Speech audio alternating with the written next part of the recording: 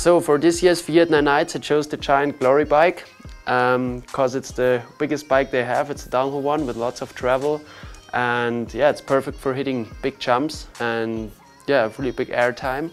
Uh, the cool thing is I built it up pretty light with light parts. It's a weight of 15.6 kilos. It's really nice in the air as well but it's still really strong and you can survive nearly every impact with it. So one of the most important things riding big bikes on big jumps like we have this year at the course is a really progressive and hard setted setup.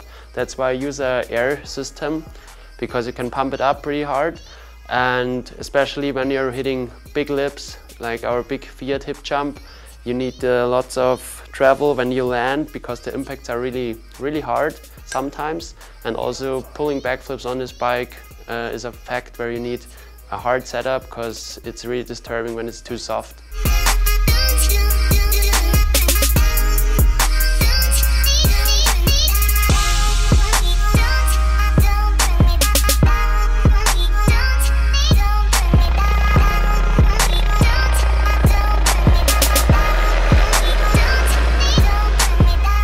So the direction mountain biking is moving, I guess, is more and more the big bike style and doing like big jumps on the downhill bike and maybe put some tricks in there.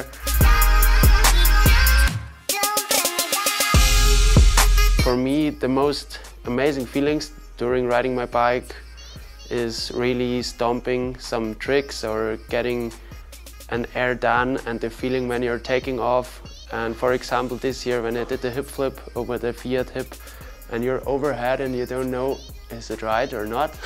And then you have the moment where you can spot the landing and you see it's working perfect and then like this adrenaline comes into you. It's it's just amazing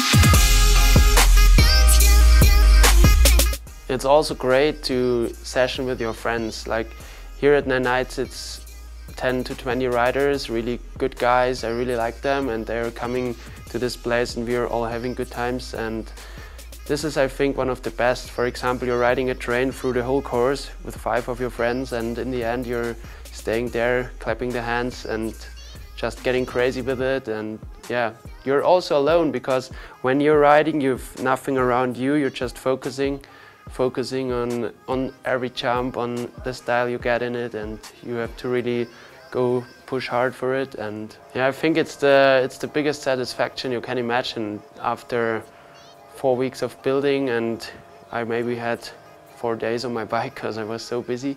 And then you have, yeah, the, the time is coming where you can pull up your helmet and catch the bike and you just ride all these features you were building the last weeks and share this with your friends. It's the biggest satisfaction ever and I also took some time during the heli session, just 10 minutes, where I was sitting next to the hip jump and just watching the guys going big on it. It's, it's crazy when all the plans were just in your mind and they're coming true. It's pretty cool.